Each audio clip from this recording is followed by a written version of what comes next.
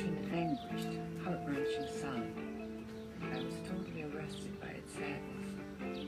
I closed my eyes for a few minutes, and that's when the dream must have